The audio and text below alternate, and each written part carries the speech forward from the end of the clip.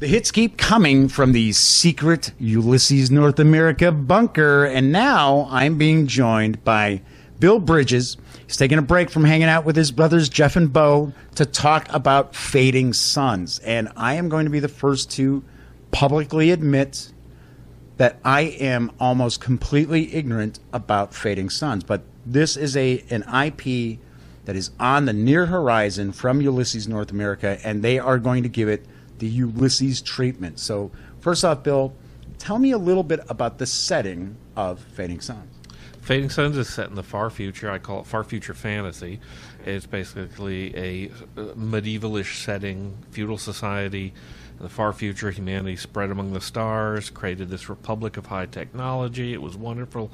It was all the science fiction utopian dreams, and then it collapsed and crashed. And So uh, it's America 2022. yeah, exactly. It's just around the corner, man. And uh, so it, now you've got feudal lords, you've got uh, a universal church that sort of doesn't like technology, it blames it for its sins because the stars are fading, they're darkening. No one knows why. Church is convinced it's the sins of the Second Republic that's now gone, and now they just have to save their souls because they're not going to be able to save the suns. Not everybody believes that. Who knows? What's The reality is there? somebody forgot to pay that utility bill. Yeah, exactly. And if you could only find the bill and get the account number back, boy. the sun is back. Yeah, whew, turn it back on. All right. So merchant league guilds too. They control the high technology. It's all secrets now that they So don't. So it seems very uh, a lot of conspiracy, a lot of uh, kind of maybe double dealing. Things Yeah. like that. Oh, it's all, as- very Machiavellian, very scheming, a lot of politics. You could see it, you know, Game of Thrones in space. I think of it as uh, Three Musketeers in space because you're you could play the intrepid sort of throne adjacent heroes who are like you know working around the nobles and stuff Right. and trying to do all sorts of cool things. There's lots of exploration you could do. There's outside of the known world's cultures and civilizations, what they consider the barbarian cultures who still also have managed to somehow maintain star travel and stuff, and you can go out there and try to deal with them. There's weird aliens. There's the whole super high tech alien culture, the Vau and the Vau hegemony. The whole thing is they've shut their borders. They don't let humans through, and they're just watching. built a wall. and nobody knows what they want. They kind of do have that. Right, Bingo. exactly. Yep. The wall worked. They built the wall, yeah. And then there are the symbiotes, the horrible, you know, corrupting creatures that humanity's fighting a war against in one place to prevent them from flooding into human space. So obviously, this is a, a role playing game that's that's aimed at children Yeah, because it's so happy and light. absolutely. You know, killing all sorts of shape shifting creatures is something every kid needs to If learn. you thought Tales from the Loop was a little too dark for your tastes, Fading Suns. Now, as far as the uh, the player characters, what sorts of character types, what sort of archetypes are there available for the players? Uh, the main classes we say because it's social classes. You're playing among the elite of society. Most people are peasants and serfs but you can play the nobles Little the noble- people. yeah the little people. The nobles of the noble houses there's the sects and orders of the universal church. They go from crazy occultist types to inquisitorial types who love to burn people with their flame guns to the healer types and then there's the more uh, sermonizing types. Then there's the merchant league. They control the high technology the charioteers guild or the pilots guild. You pretty much can't travel the stars without them handling all the jump gates which are these ancient alien artifacts left behind by a long gone race that allow you to do star travel there's the Engineers Guild, the Scravers are they're officially reclaimers. They go through these the ruins of the old civilizations and reclaim tech. They're a thieves guild. Everybody knows it. They're trash pickers. Yeah, exactly. Uh, mercenaries guilds, things like that. And then there's sounds really in depth. Now, Fading Suns uh, is not new. I mean, this is a new No. edition coming Yeah. out. I can't be familiar with every game, folks. But when did when did Fading Suns originally come out? It's it's been a while. Fading Suns originally came out in 1996. There we go. It premiered at uh, Origins and immediately in Gen Con. It came out around the same time as a tactical computer game we were working on, strategy game, Emperor of the Fading Suns. And that chronicled what were called the Emperor Wars, where all the noble houses were fighting to see who was going to be the emperor. And the role playing game assumed one person won, and we took off from there. That was our continuity. But when you go back and play Emperor of the Fading Suns, you can play in different outcomes. You could have an entirely different house win, or and so forth. So you can make your own alternate history. So we are obviously going to see a core book. are you at liberty to discuss maybe some other products that may be coming out around the same time? Well, I can't tell you when they're coming out. We're still I working on the right. schedule. But uh, I will say, if everybody dutifully backs this stuff and buys the stuff like they're supposed to, we'll get the long-awaited War in the Heavens Pantheon, which reveals a lot more about that lost alien race who built everything, left it behind for humans to use. So it's all up to you. Yes, you out there. If we get to see Fading Suns, Li- listen to this. You're, you're basically threatening these poor folks. Watch. If they want War in the Heavens, they'll have to If play want- the if you guys game. want it, gotta back it. What are some other things about Fading Suns you'd like to share? Oh, Because I'm jeez. sure it's going to be pretty much a new property to a lot of people.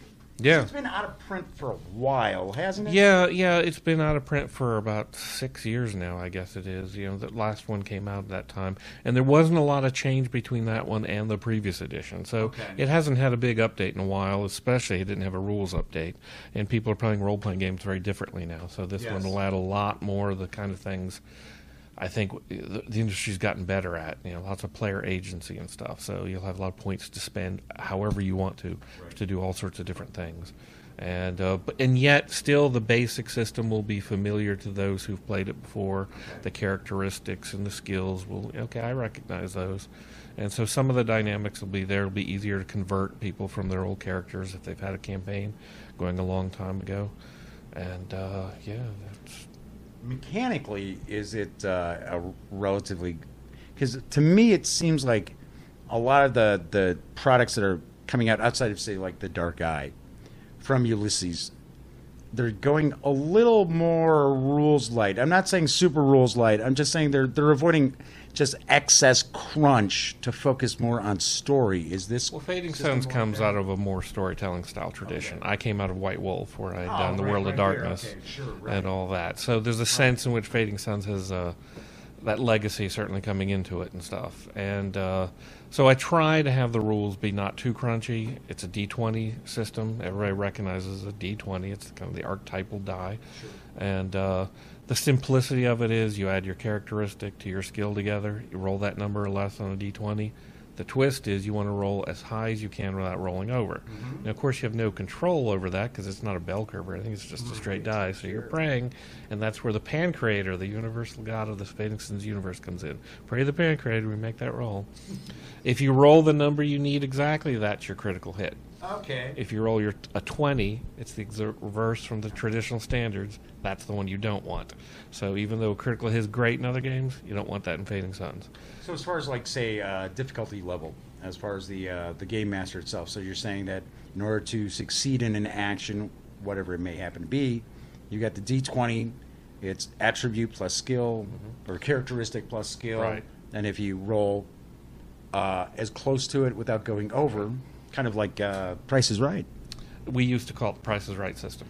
I also call it, in the more mythological vein, the Icarus system. Yeah, right. Because you're Don't flying- fly too high. Yeah, exactly. So Uh, what about uh, The thing uh, is, when you do with make the roll, How do you? How's the adjustment work with that? So let's say, um, of course, somebody with a shooting skill is going to have much easier time shooting something right next to him as opposed to needing to kind of be a marksman to take Right. something out. So the Yeah. difficulty does change. How is that accounted for? uh, what it is is when you roll that number or less, you've gotten a hit, and now you have to contend against the resistance of the thing. Oh. So if the conditions are bad and your vision is bad, the resistance might go up. But some conditions will actually affect that number too, and might raise it or lower it.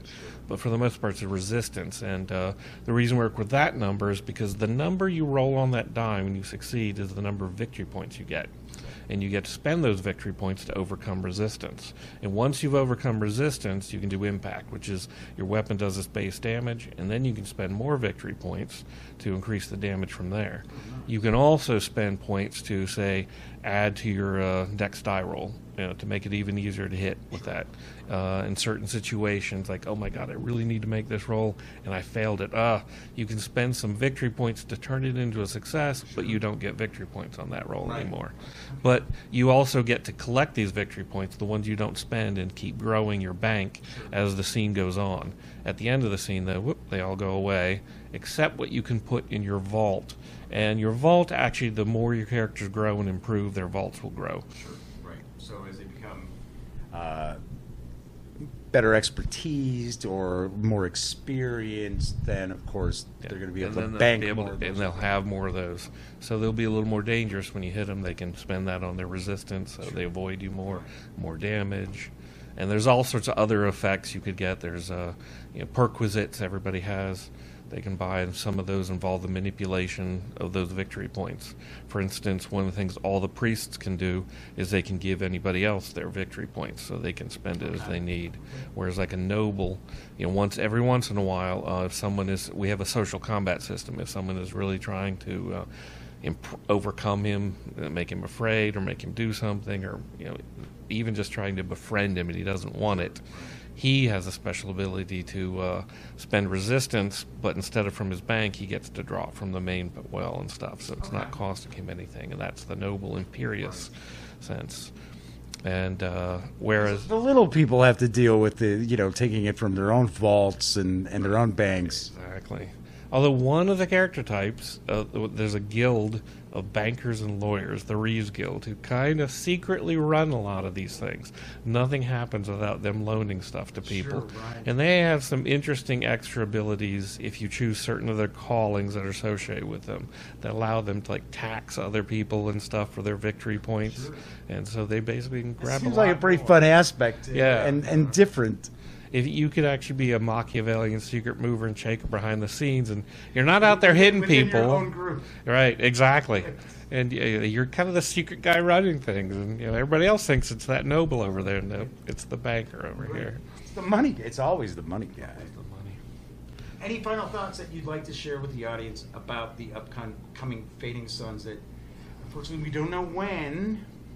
The responsibility is on your shoulders, folks. Right? We could say you know late fall is what we're looking at for a Kickstarter. So get on board because uh, the more of these we do, the more product we can make, and the more we can move to the War in the Heavens Pantheon. Plus all the other cool stuff we want to do. There's a lot of secrets in Fading Suns. It's a whole big giant onion. You just got to keep peeling it. And uh, You we want, you want to finally get to that really stinky center. yeah, exactly. It stinks. Uh, Well, so thank yeah, you so much for taking some time out here to Join me in the secret Ulisses North America bunker to talk Fading Suns. thanks a lot.